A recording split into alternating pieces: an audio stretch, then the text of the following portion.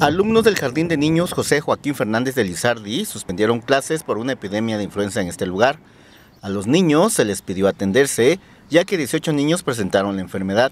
El Jardín de Niños, ubicado en el fraccionamiento Elsa de Santa Rosa, comenzó con reportes de influenza desde el 14 de febrero. El jueves y el viernes de esta semana, los padres de familia determinaron suspender las clases y solicitar a los servicios de salud de Oaxaca realizar pruebas de laboratorio a los niños. La mayoría de los niños que van a este kinder presentan la misma sintomatología, dolor de estómago, fiebre que sube y baja, pero que no se les quita. Será el sector salud el que determine si deben entrar en cuarentena, información que tendrán el próximo lunes. En este kinder acuden más de 100 niños distribuidos en tres terceros, dos segundos y un primero.